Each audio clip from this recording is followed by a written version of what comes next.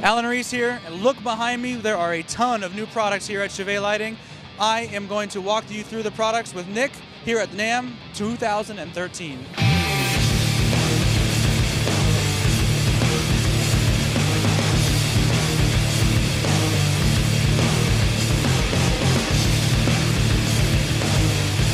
You ain't at NAMM, you missed me.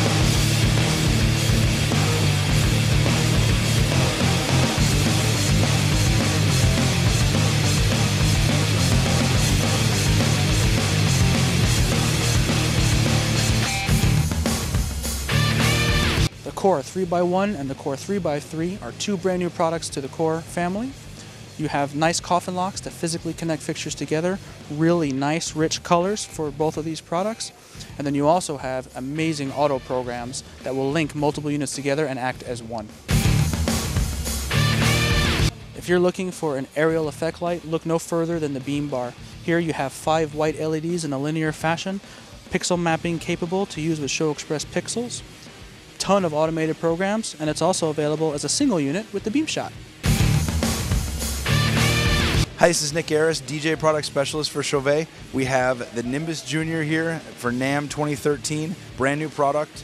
1500 watt heater, single heater, half the capacity for dry ice and water, same great effect as the original Nimbus. Right next to me here is the DJ Bank FX. It's got 3 watt LEDs, it gives out crisp, razor sharp beams, and is incredibly light and very small. On both sides of me, we have the new Colorband Pix M. This is a take on the popular Colorband Pix, where which you have full pixel control, and now you also have movement built in.